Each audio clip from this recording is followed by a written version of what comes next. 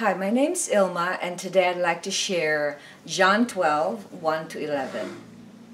Jesus, therefore, six days before the Passover, came to Bethany, where Lazarus was, whom Jesus had raised from the dead. So they made him a supper there, and Mar- Martha was serving, but Lazarus was one of those reclining at the table with him.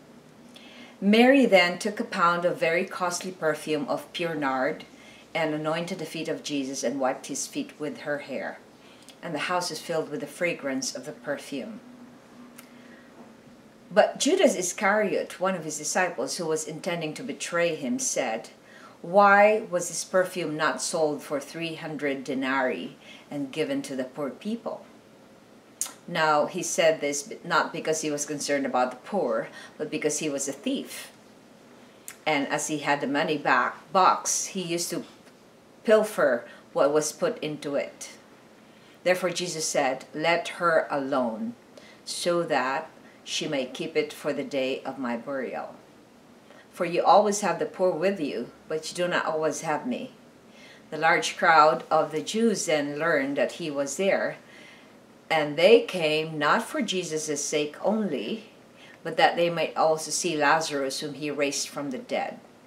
But the chief priests planned to put Lazarus to death also, because on account of him, many of the Jews were going away and were believing in Jesus. John 12, 1 to 11. Here's my devotional Mary anoints Jesus with costly perfume. Lazarus was resurrected from death in this account. It was six days after Passover, and Jesus passed by his friend's house in Bethany.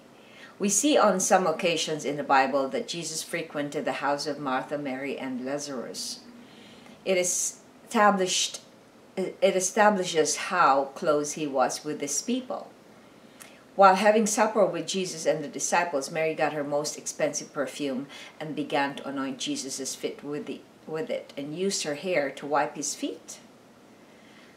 It must have been very costly to use pure nard because it made Judas Iscariot cringed at the thought that he could have profited from the value of that perfume. It really shows his character. He wasn't there for Jesus, but to use Jesus so he can benefit personally from the funds. In verse 6, we see the true color of Judas. He was a thief who embezzled money from the funds of the group. Mary's act of using the best perfume to anoint Jesus' feet is exactly the opposite of Judas's greed. She had to honor the Lord with all she has because he was her master. How easily can we forget that everything we have comes from the Lord?